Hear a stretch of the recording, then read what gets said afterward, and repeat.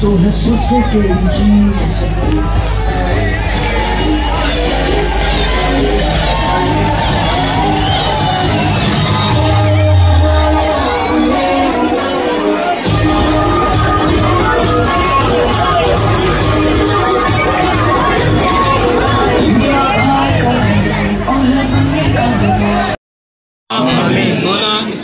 हल्के के जो आमदार है गुलाम रही शेख साहब, जो गुज्तर पाँच सालों से यहाँ के वाम की खिदमत कर रहे हैं, मौला उन्हें मजीद और खिदमत की तोफ़ी पता फरमा।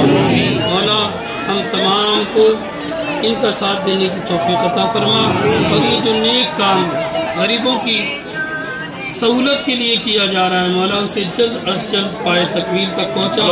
इन तमाम हजरात की खिदमतों को इनकी काविशों को कबूल फरमा और आखिरत में इनका बेहतरीन जजा और सिला दुनिया हसना हसनत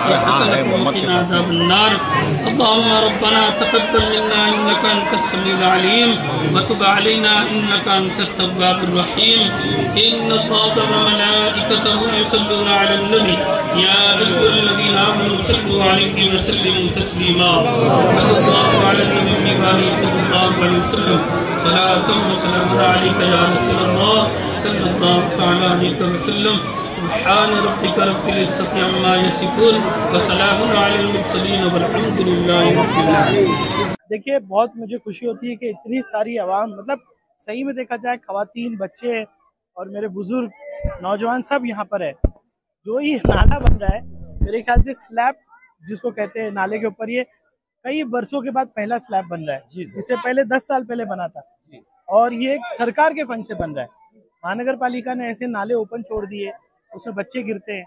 और ये कनेक्टिविटी भी है। यहाँ से अगर आपको जाना है पूरा घूम के आपको जाना पड़ता है। लेकिन अब इस रोड इस नाले के ऊपर स्लैब की वजह से आवाम अच्छे से उस ओर तक जा सकती है। और ये बहुत ज़्यादा लोगों की डिमांड थी।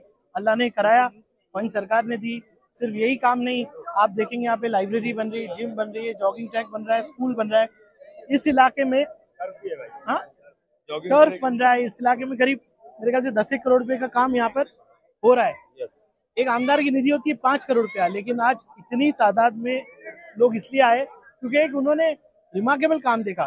ढाई साल में कोविड के बाद इतना बड़ी तादाद में हर इलाके में काम हो रहा है। अभी आप हम जाएँगे तो एक हॉल की ओपनिंग करेंगे। जो अपने दो करोड़ से बन रहा है। तो में ज़ाहिर सी बात है, बहुत खुशी है। मैं सबका तहे दिल से बहुत शुक्रिया अदा करता हूँ। हसीन भाई है, बबलू भाई है। हमारा हसीन भाई तो चिल्लाता रहा ये नाले के लिए। पहली बार मैं इनसे बात किया तो नाले के लिए बात किया, है ना? तो अल्लाह ने ये सब कराया। मैं सबका तहे दिल से शुक्रिया